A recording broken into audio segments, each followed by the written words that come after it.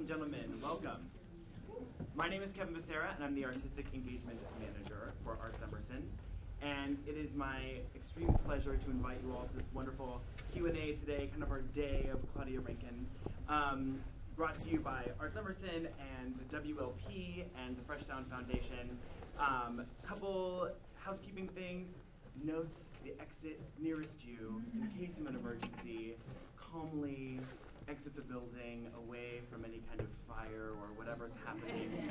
Um, um, so those exits are there and there. Uh, just so you all know, this is being live streamed on HowlRound TV. HowlRound part of the Office of the Arts here at Emerson College. Um, you'll be able to find it on HowlRound's blog after the event is over. And also, uh, don't miss at 6 o'clock, Claudia will be doing a reading and it should be quite lovely.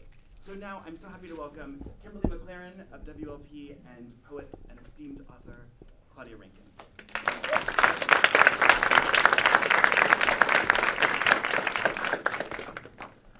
Uh, The microphones seem to be pointed away from us. I'm not sure if that's intentional. No. The- Are the microphones, I think if, if in case there's a sound problem, like if, if there's a hearing problem, they're there and they're ready. Okay. Yes. You want them? No, I, Okay. can, can you hear us? Yes. Okay. Is that okay? with you? It's okay, you can hear me. Okay, we'll proceed.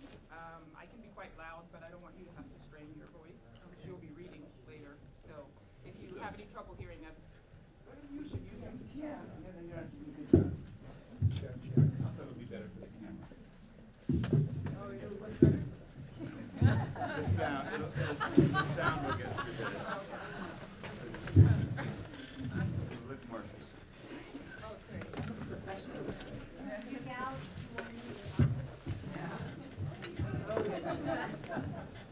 Of course we did. She's my girlfriend. that's all.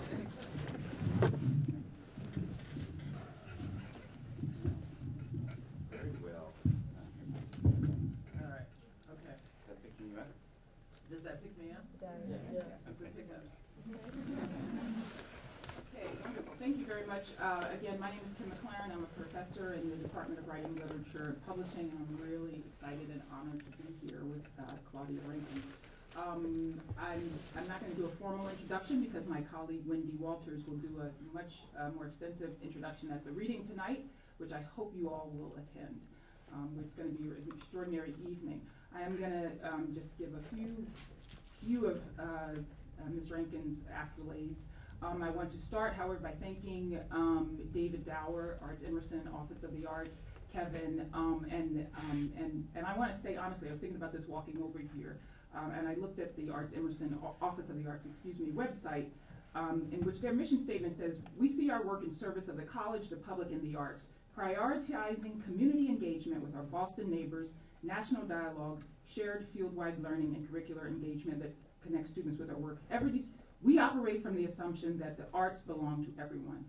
And I just wanted to say that um, that is often a statement that is made at the elite institutions in Boston, but not often a, a statement that is followed through. And Office of the Arts, Arts Emerson, is actually doing that this year, and I'm proud of that.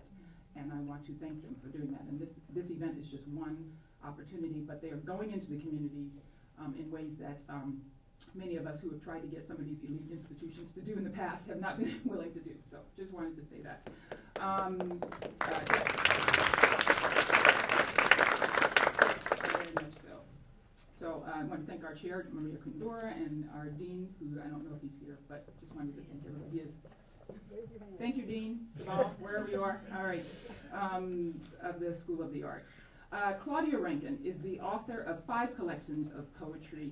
Um, the first one is Nothing in Nature is Private, 1995, The End of the Alphabet, 1998, Don't Let Me Be Lonely, An American Lyric, in 2004, Plot, uh, uh, in 2001, that's more than four, and Citizen, an American, that's five, Citizen, an American Lyric, Graywolf Press, 2014, um, which is this extraordinary volume right here, which we'll talk about.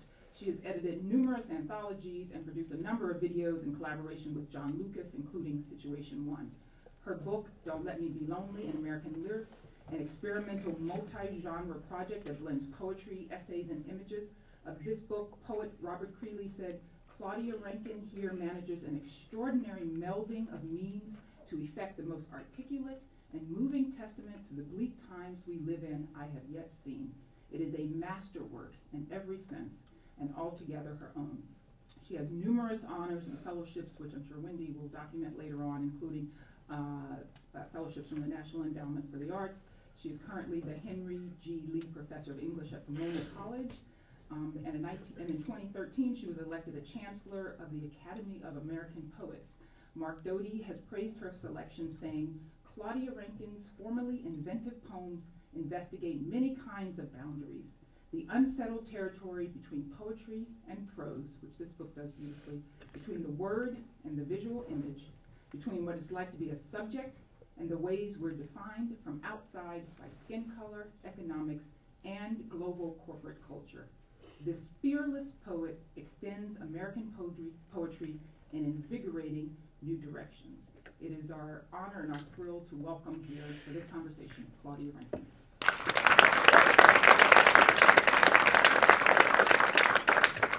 So uh, we're going to get started uh, as usual in these conversations, and especially in this one. The challenge is going to be to shut me up in time so that you have a chance to uh, have questions. This is a Q&A.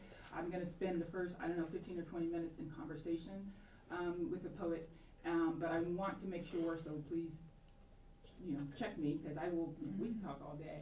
Um, so that we have opportunity for you guys to engage in the dialogue. This is an extraordinary opportunity for students, especially, to engage in a poet working at the, the top of her form, and uh, and so I want to leave time for that. Um, I want to start. I want to talk. There's so much to talk about. Um, also, um, Claudia, if I may. Um, I want to talk about the book. Um, I want to talk about the role of the artist in times like these, which is really pertinent today. I want to talk about the personal and the political, um, balancing and merging those things. Um, I want to talk about how you use other genres like playwriting to inform your poetry and vice versa. This would be pertinent to the students.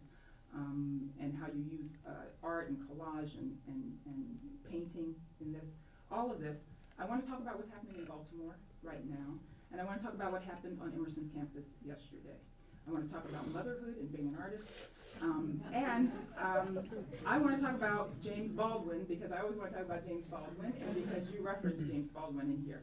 Um, so let's let's start with the book, and I think um, I, it's per, it's it's appropriate that we have the, the, the cover, the beautiful cover up here.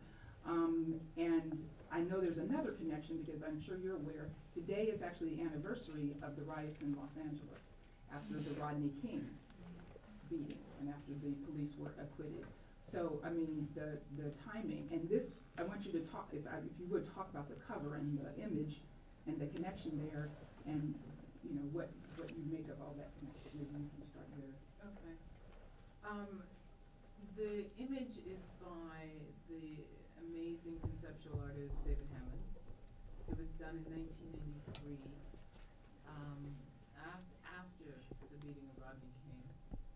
And, um, so many people have thought that it was done in response to Trayvon Martin. And, um, so it's yet another example the continuance of this kind of thing ingrained inside the culture and and the sort of mobility of whiteness to move away from it when it wants to and back into it when it wants to. Um, whereas the rest of us are sort of in a true line, you know, from Emmett Till up. So, um, so yeah, so it's a nineteen ninety-three cover, um, image. Hammons', I don't know, do you guys know David Hammons at all? He, um, he's done things like sold, um, snowballs on the side of the road so that you could have the melting whiteness in your hand. Mm. He's, um, made bejeweled, um, basketball hoops that sit inside of buildings in Soho as chandeliers.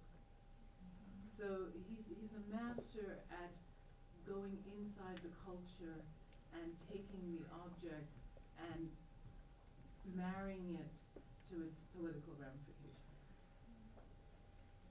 I, and I wondered about the, you mentioned the, um, the the melting whiteness in your hands, which is very interesting, and the, the white background here.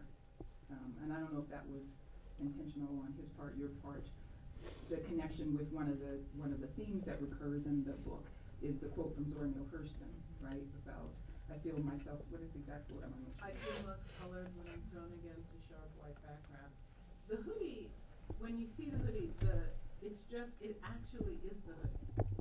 The piece of art is the actual object, and it would be mounted on a wall. Okay, So the decision to have the white background, um, was our decision. Um, partly visually, but partly to engage visually the subject what, what does that mean to you? I mean, maybe that's a stupid question, but the, the, there's a work in here, who's the artist who does the, who uses the Zora Neale Hurston quote? Glenn Ligon. Right. Um, in which the quote recurs over and over again until it kind of shades into blurriness. Um, I, was, I'm interested in that because that quote, of course, is from her, her um, essay, How It Feels to Be Colored Me. And the essay is, is, is, is multi-layered, right, the, the essay. So I'm curious about why that quote spoke to you. I feel myself most colored when I am thrown up against a sharp white background, when the essay is actually about the times also when she doesn't feel herself to be colored, right? And, and, and how do we balance those? I'm, I'm just curious. Well, I wanted the, I wanted this book, um, to sit in the world as I sit in the world. So sometimes there is mobility. Sometimes one is able to move through. And then you have those moments when an obstruction happens because racism enters. And then you find yourself having to negotiate something you didn't expect partly because it's coming out of the mouths of your friends, your colleagues, or out of the quotidian day, you know, Mhm. it happens in the restaurant when you're just wanting to pay your bill or something like that. So, so in that sense, it, it, it is about both things. The, the opening quote by Chris Marker, if they don't see happiness in the picture, at least they'll see the black is in reference to the film Sans Soleil. And if you see the film, when he says this, there's a uh, there's a photograph of I think two blonde children on a beautiful day. Then later on in the film, he shows the same landscape, but a volcano has erupted and wiped out where those children would have stood. And so that for me became um, a metaphor for what happens when um, institutionalized racism constructs both the black and the white self and also the brown self so that it's it's coming in and erupting and wiping out whatever stood before including any kind of encounter that had mobility written into it Yeah, that's, that's, that's, um, powerful. The, one of the words you just used was, uh, because the book, the beginning of the book, um, kind of is a, a, I don't wanna say litany, but it's a meditation on the, on the everyday acts of racism, right? Um, microaggression, which is what our students were discussing just yesterday.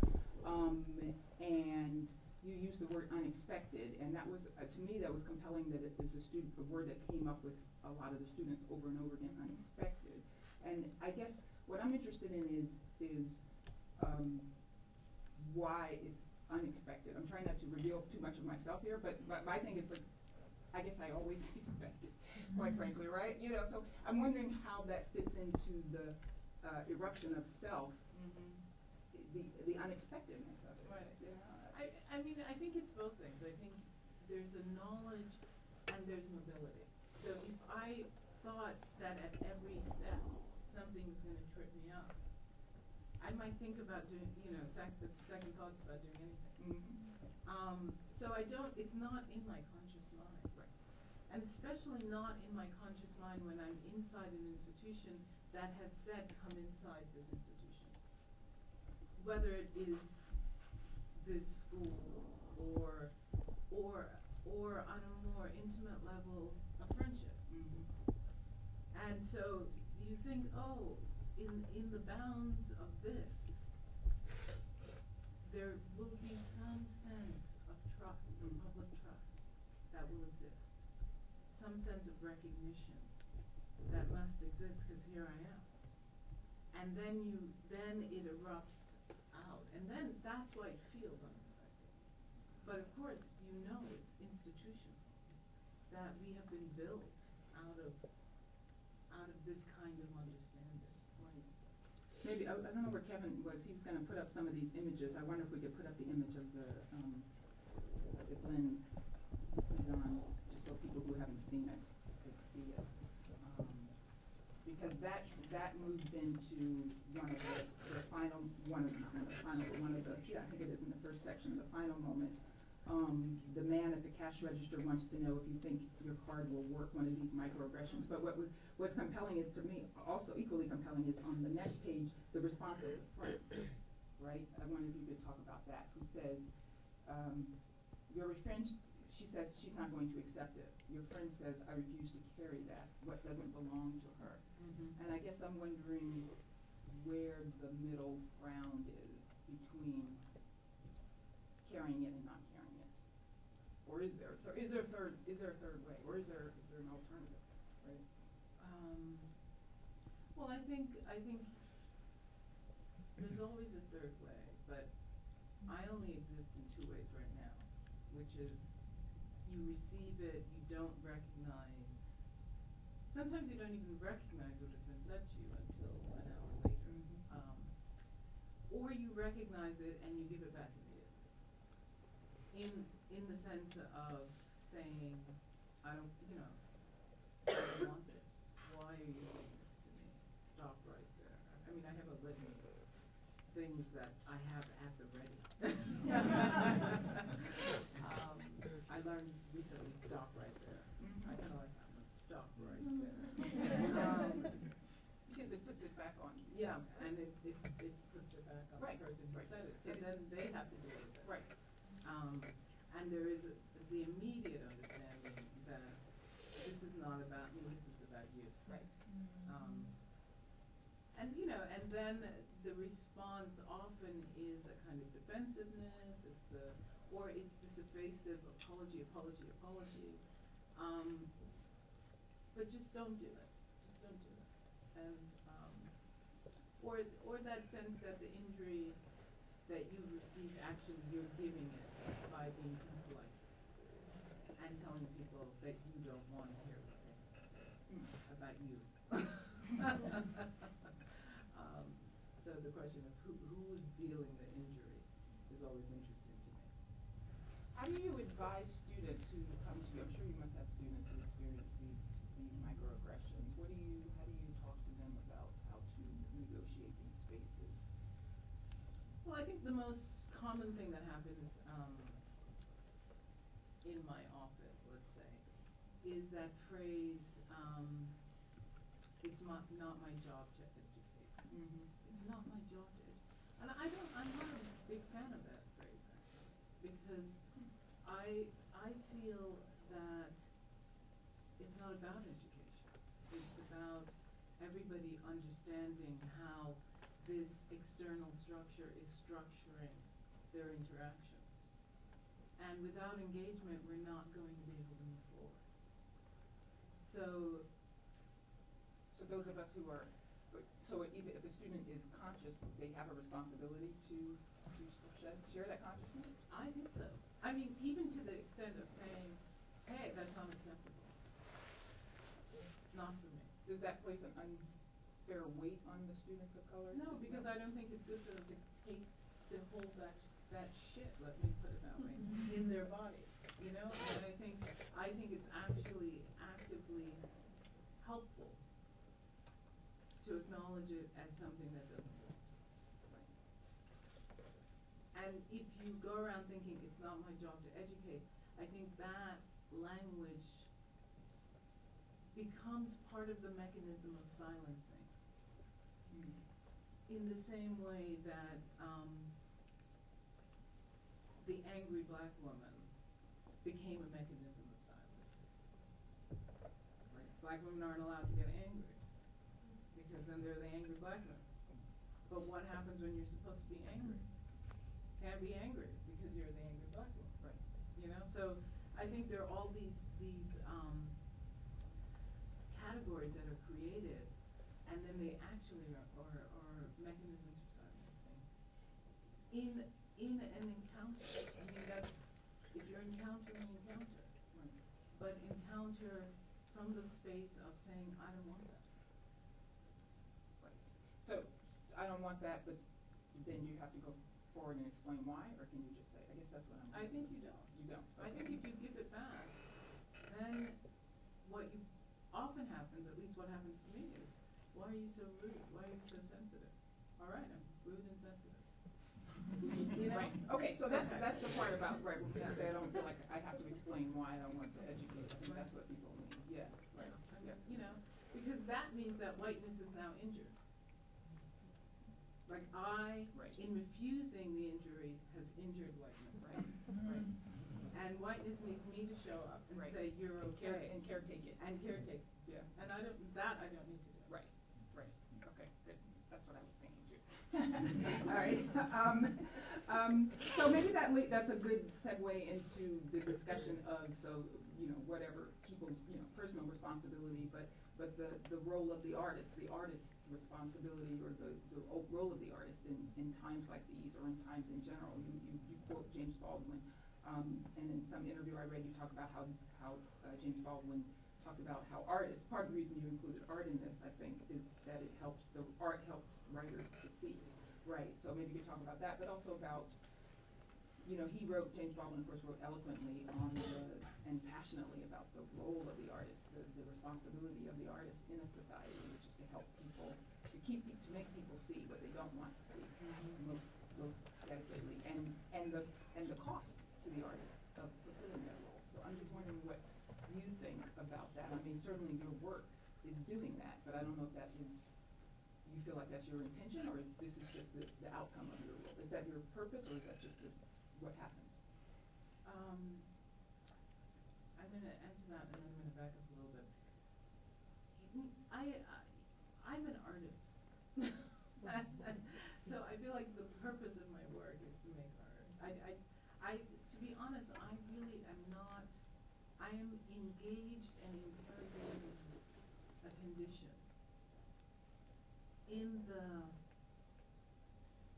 activity of making my work. But I am, I, I am not thinking about any outcome in the making of the work. I'm just making the work. And after I've made the work, if another thing is asked of me, then perhaps I will do that in another way.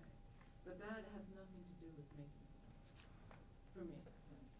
Um, But where does, so where does the work come from? the work comes from interrogation of experience, um, where I think all work comes from, in a sense. Um, I don't think that this work is any different from, from Dostoevsky's work. I'm gonna put myself equal to him. Why not? Or, you know, or, um, Ellison, or, or Bergman, or Glenn Ligon. Where does any of that work come from? It comes from a moment of standing in some kind of experience that allows you to create an object. Um, and for me, the language of interrogation has been helpful to think about how I'm thinking about. I, I don't expect that when this is done, um, it will sit in the world as some kind of pill or some kind of catalog to, to, to knowledge. I really don't. I, I just, I just made it. And I will go on and make something else when I have some time. So, yeah, I just wanna be clear that I, I think, and, what- well, you know, James Baldwin is not suggesting that artists operate out of some kind of imperative, but that out of, uh, an allegiance to exactly what you're talking about, to, to a res- ultimate responsibility to examining what it means to be human, right, in this world. But that that is, that in itself is a political imperative in some way. I mean, that's, I, I- I see your work situating in that regard, right? I mean, Mhm. he's not saying that Yeah, you yeah. should fulfill some political imperative. He says, uh, to me, the artist's struggle for integrity is a kind of metaphor for the struggle which is universal for all human beings all over the face of this terrifying globe to get to become human beings, right? That, and that the poets, you, that's you, uh, that the poets, by which I mean all artists, are finally the only people who know the truth about us. Soldiers don't, statesmen don't, priests don't, union leaders don't, only the poets, and that it is the poet's responsibility to tell us the truth about ourselves. I guess I'm wondering what you think about that. Because that's what I see you doing whether you know it or not, right? Right, well, that's, Telling us that's, the truth about ourselves. well, that, you know, I'm glad that's, that's part of the reception, but I, the reason I'm backing up from this is I, I, um, I'm very weary of this, this idea that work done by minorities of any kind fall into this kind of activism role. Which then allows the academy to, to segregate it out into these categories of political work, protest work. Over here is the work, and over here, you know, are the people who are doing the activism. I'm not doing the activism, I'm doing the work. If the work falls over here into the activism, good for the work. But I was just doing it. Right. But it- in some ways, it's the same conundrum as you were talking about, about black women not allowing to get angry, because I have the same standards, I mean, this is what I tell my writing students. I, I preach to my writing students that the role of the artist mm-hmm. is to ex- explore what it means to be human. So to me, that's not activism, that's the role of the artist. But I can, but it could get, I understand what you're saying, is that if you're a black artist and you're writing about race, then you get categorized as a protest writer. Um, so it's almost a no-win situation. Right, well, it isn't a, it's a win-win situation because you guys are here, right? And because I wrote what I wanted to write. It's a no-win situation if you are going to be judged by the academy who separates out Mhm. Heteronormative text versus Right. everybody else. Right. And then puts a judgment on one as transcendent and pure and the other as protest and alternative and political and timely, Right. et cetera, et cetera, et cetera. Right. So th- this is in some ways analogous to the struggles that uh, women novelists have when writing about, right, uh, uh, family issues and personal issues, and which Right. as, though that's a nice little domestic novel, but when, you know, Right, it's not that uh, male novels named Jonathan, for example, write about, um, you know, domestic issues, they are writing about great universal issues, but, exactly. yeah, we don't need to go there, okay. um, But, but I, but I think that, you know, but I, I love that Baldwin quote, and I agree with him that one wants to arrive at a human place. And one is looking to, to see, to enter into the nerve that feels most human, that feels most, um, ordinary in a kind of odd way. Um, so it's not that I love the Baldwin quote, but I don't I hear wish you, it to be used Right. in incorrectly. Fair enough, fair fair enough, fair enough. Um, I wanted to ask you about the, um, the reprintings of the book and the, the addition of the names. Um, I don't know if people are aware of that, maybe you could talk about that, because, uh, a friend of mine, I didn't even realize this until a friend of mine who had a first edition pointed it out to me, right, that, um, when it was first, the- on page one thirty-five, I don't know if we have that here. Um, No, but I have it. Maybe you could just tell people what that Well, was about. When I did this page, I did it for Jordan Russell Davis. He was the, the guy who was playing music in his car, and the other, the, the other guy, um, shot him, killed him, and said that he felt threatened. And then he got off, Mm. then he was retried. But when I wrote the book, he had gotten off. so that was the first thing, and so the page said Jordan Russell, and then the other page it said the justice system. Mm. Because that was a clear case that the justice system had failed Jordan Russell.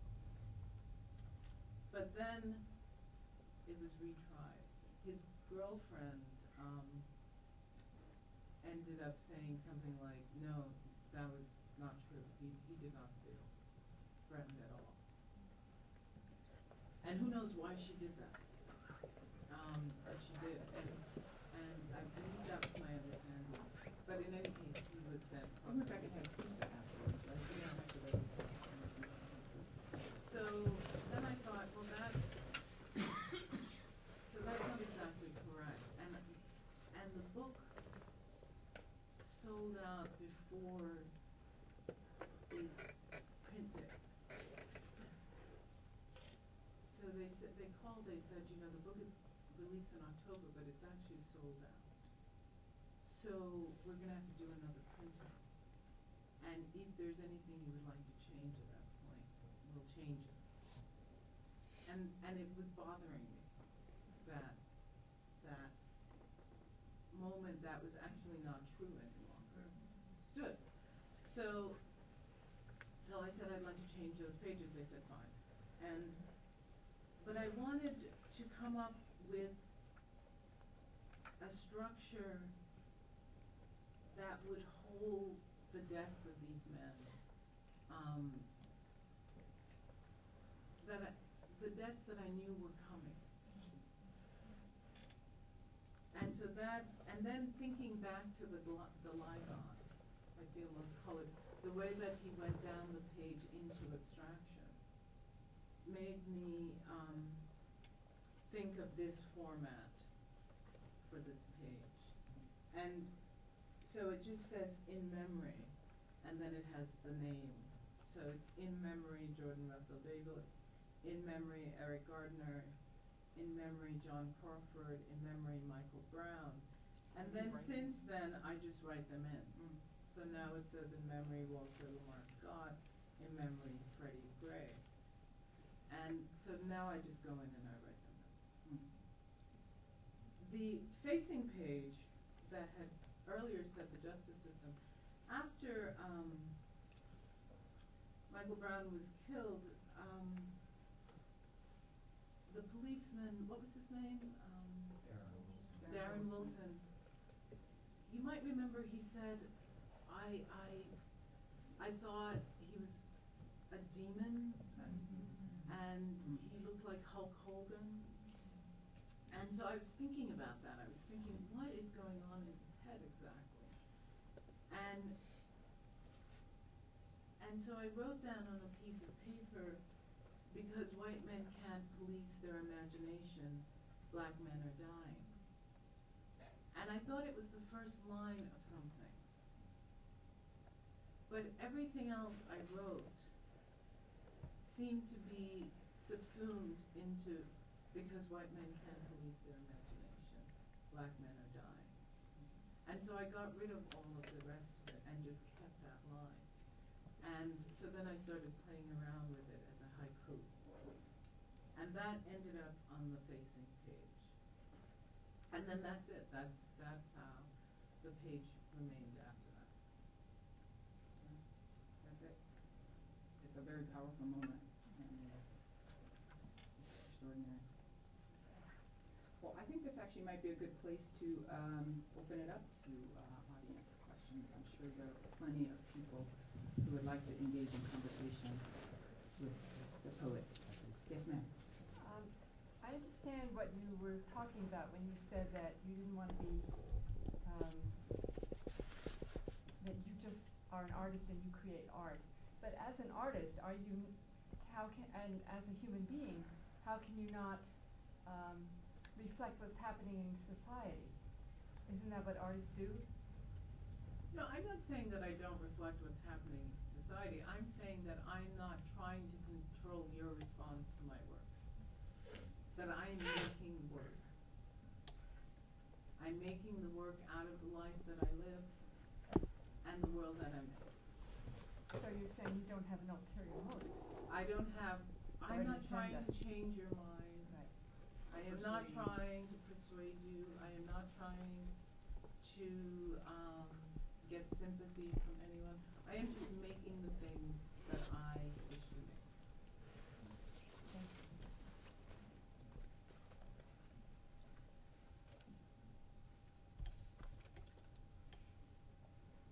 I just think comment along those lines, citizens, um, and you mentioned political, um, and do, there's a right intention set out to write politically.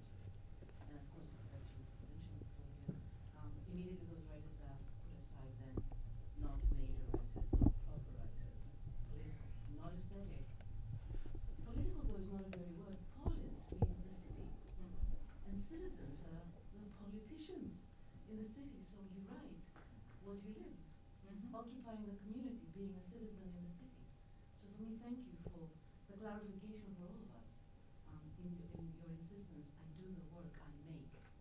I, I'm a poet, that's what a maker is. Thank you. Thank you. And also, this sense that one can segregate politics out from one's life is Right. ridiculous. It's ridiculous. And, and I guess that's what I was trying to get at, how do you how do we, I, I struggle with how to explain that to my students, I guess, exactly that, so maybe, maybe, maybe, go ahead. The, the, the idea that they are in fact separate and distinct, They, they cannot be. right? They cannot be because that is what is determining the fact that you are standing here now. It is what is sanctioning a police state that we live in. So, this, this construction that, which is basically a lie, that it's over there and you're over here, is craziness.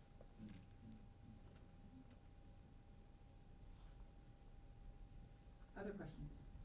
Yes? Um, so I got to hear Claudia read at Harvard the other day, and um, you said something then, which you just touched on now, that, that nobody is outside the structure of racism, that it's that that's something that often way people try and feel that they can be outside of it, but in fact it's all encompassing and it affects all of our interactions. And I was wondering if this is maybe a little bit self-interested because it's something I'm thinking about in my own work. If, if you could advise or speak to how a white writer talks about observing microaggressions that may or may not be directed at him himself. I, I live in a neighborhood in which I'm a minority, for instance, and so I see them all the time, both directed at my neighbors and also sometimes at myself, but um, and I, you know, as you say, I'm writing my own life, and so how can I leave them out? That feels false. But then how can I write about them without feeling as though I'm appropriating something? Is there a, do you have wisdom on that? It's not my job to educate.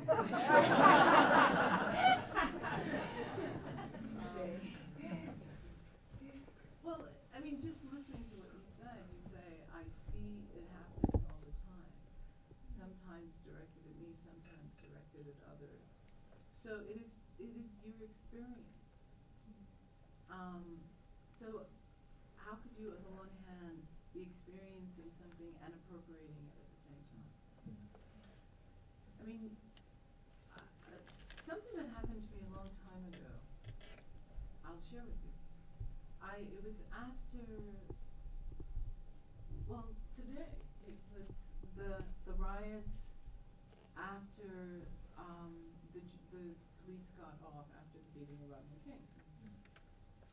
And when that decision came out, I was devastated. I think I was mentioning this to students yesterday.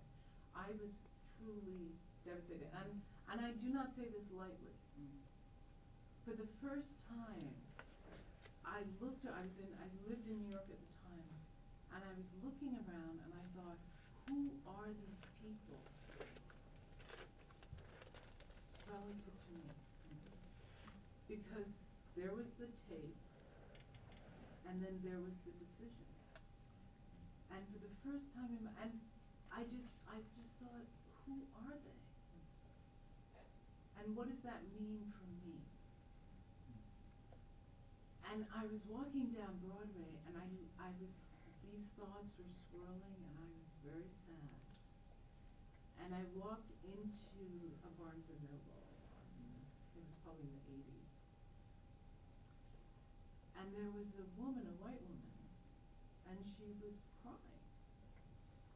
And I said to her, you know, I just, I didn't know her, but I walked in and she was crying. So I said, are you okay? And she said, I can't believe they did that. Referring to the decision. And that moment I was back in. Mm-hmm. We were back, we were like two citizens. And that, I think, is the problem. When, sees these aggressions as not about them. When it is about our public. It is about the, this, it's about what it means to be American. It is about what kind of acceptance we are giving to white supremacy. So, when you start feeling like you're appropriating, that's the moment you begin to feel like it's not about you.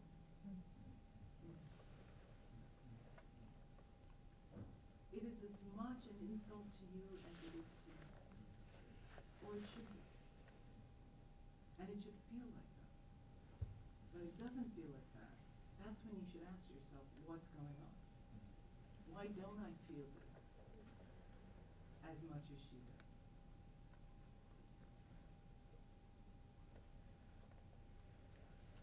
Uh, hi again. I just want to start by saying thank you for being here. It was a pleasure to be in your class yesterday. Um, wondering if you have any suggestions on how to use your text to teach students um, or to raise awareness among students about what's going on now. Um, as an instructor of color, I often find it difficult um, to bring my full self in, in terms of current times to the classroom. So I'm wondering how I could shield myself behind your text um, while also um, sharing this wonderful piece of work with students who should know about it anyway. So I'm just wondering if you have suggestions that I can use tomorrow. Well, you know, one thing I've, I've done that I find useful, um, is I ask students to write down their own microaggressions. Um, and then we talk about them on the level of language. Not in terms of what is right or wrong, but in terms of how it got written where responsibility is taken inside the language and where it is not. What the pronouns are doing. Who gets to be in the position of the object and who gets to be in the position of the subject. And that, that it, to me, has revealed more than discussing the issues.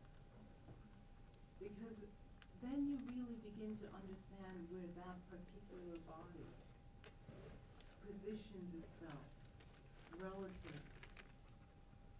world and the things that they're thinking about. I, I had, I was in a classroom of teachers, white, mostly white women who, um, had taught in public schools all their life, dedicated their lives to teaching inner city children. And then I asked them to write down microaggressions. And one woman wrote something like,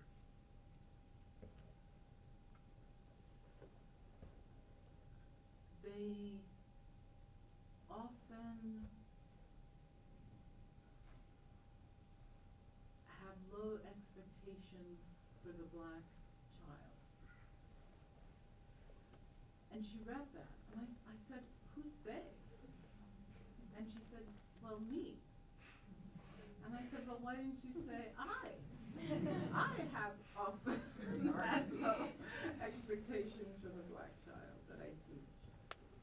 And she said, I, I don't know why it is my I.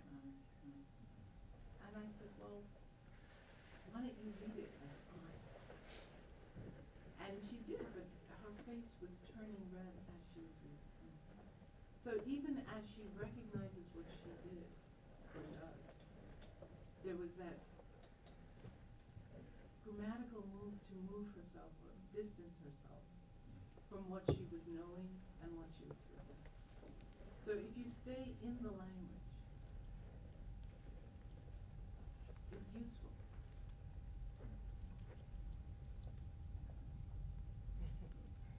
Thanks a lot for this. Um, a story about Martin King going, then that white woman crying. It seems to me that there are communities and there are communities. Right.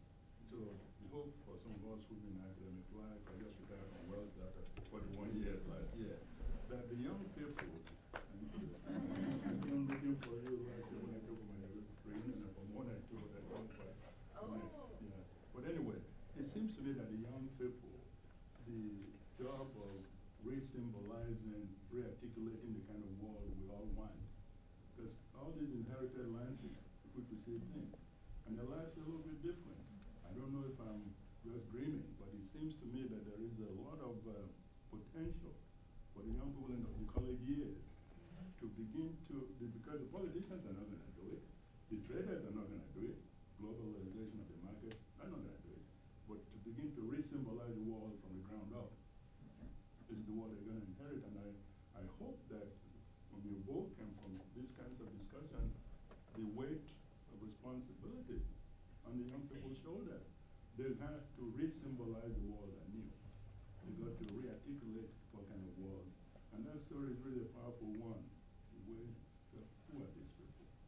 And then you go and see that woman crying, coming from a community, you know. Mhm, So we exactly. need to expand that, that, that range. Exactly. But no. thank you so much for this book. Thank you.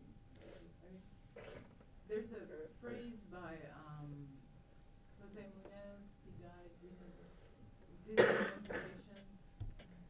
And that, that thing of bringing another lens and that which we inherited has to be the work.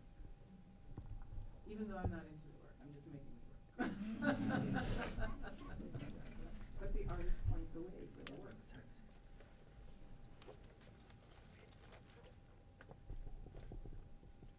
I have a question about being inside the language. I think that for me, one of the most powerful and heartbreaking aspects of the book is your use of the second person. And both of your last two books have been titled An American Lyric. And we have this association of the lyric as the, the I speaking um, from a, a place of epiphany or a place of connection to nature, some special location.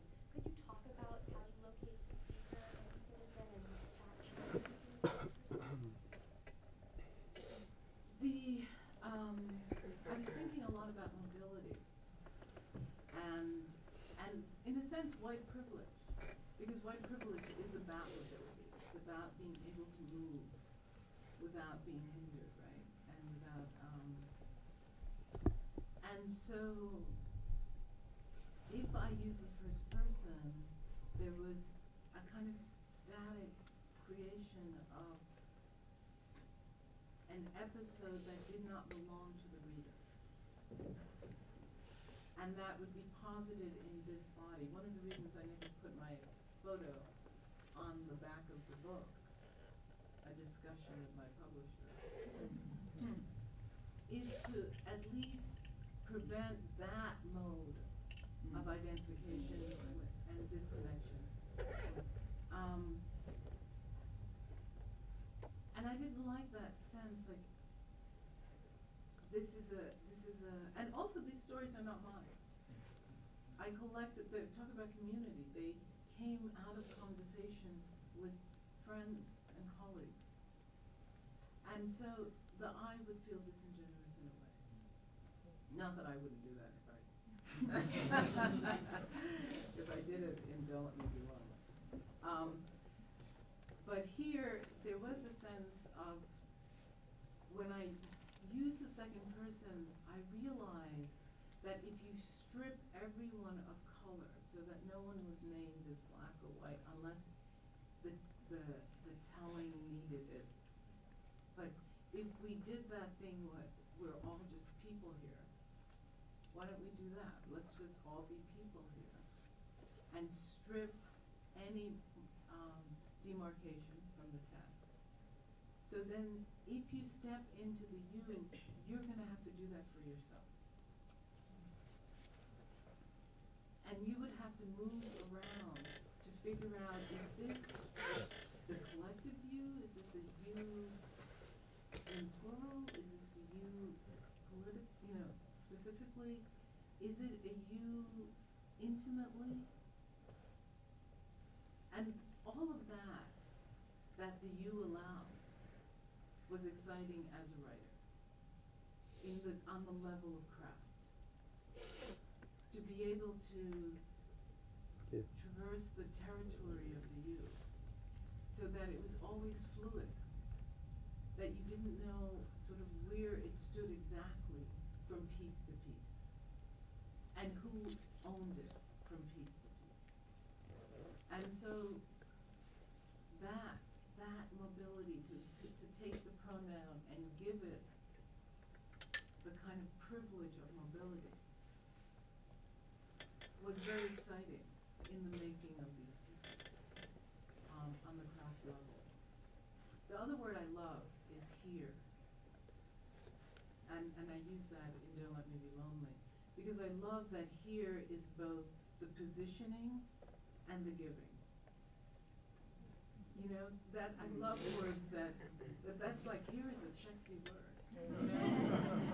You are standing here and here, I can hand it over to you. Um, so I love words that have in, built in them this kind of, this flex,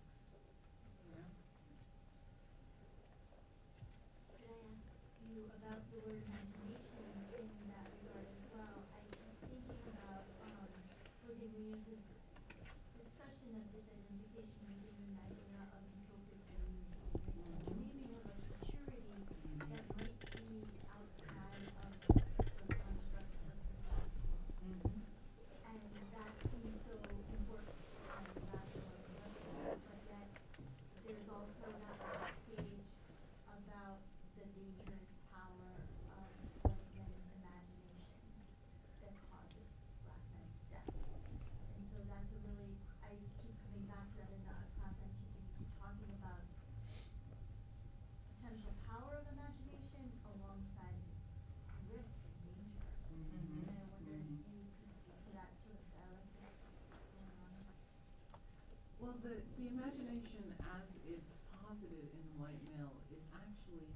Not an imagination.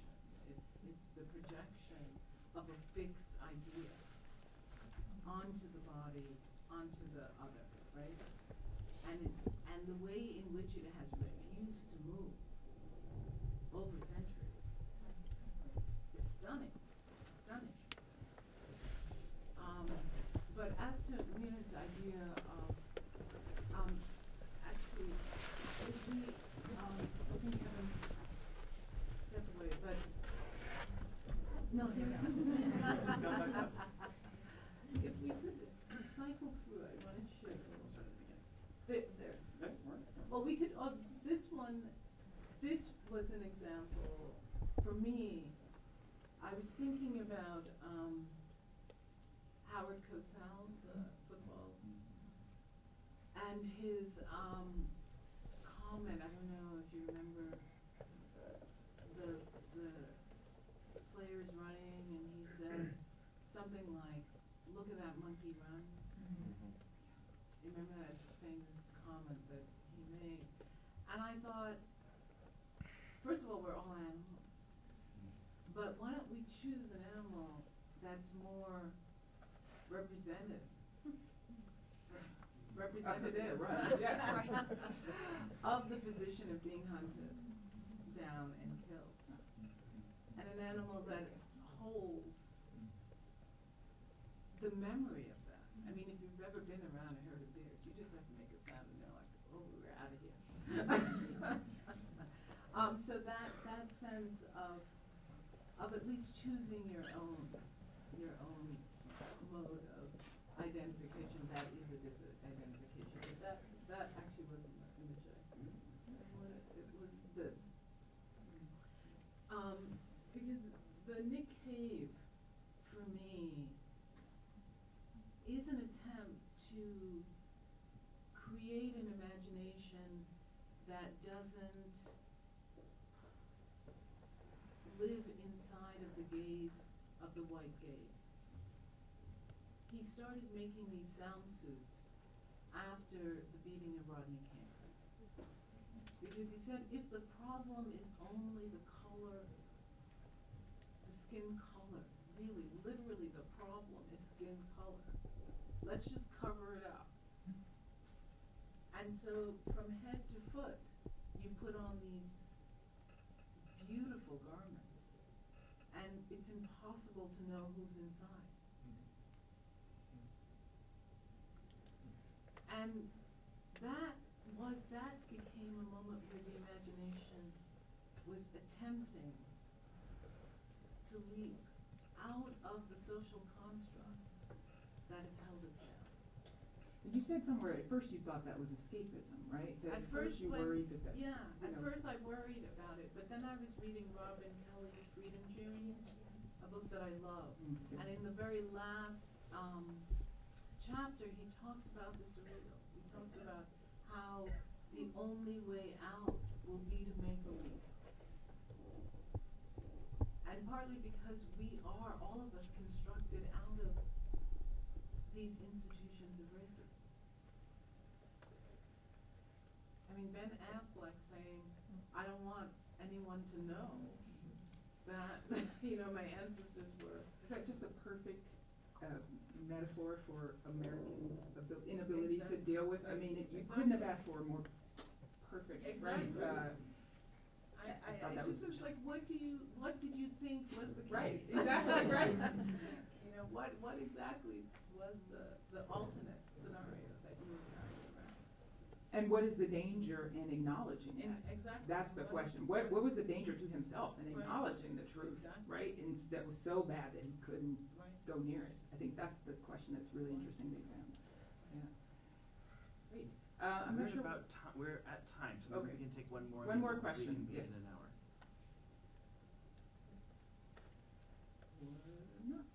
I'll say something. I'm, I'm not part of the academy, but I'm a person who reads poetry. My husband is a person who reads tennis. Mm-hmm. So the analysis of Serena Williams at Indian Wells brought us together in a way that no book of poetry has ever brought us together. So thank you for that. I actually, uh, I have a friend who is a poet, and her brother is a commentator for um, E- E- E- ESPN, And um, and she said exactly the same thing. She said, "Finally, my brother and I." were I, so I know you're not an activist, but you are m- moving people I mean, I might be an activist other places in my life, but I just, I just wanted to, you know, I, when I sit down to work, I'm not thinking about activism. I'm thinking about making, making. I mean, it's, I think, I, I just think that if you have that other idea, it leads to a kind of, it can lead to a didactic, um, stopping place in the work. So I, I think it's useful to give yourself all the freedom you should be able to have, as much as you can muster when you sit down to work. You don't have to save the world while you're working.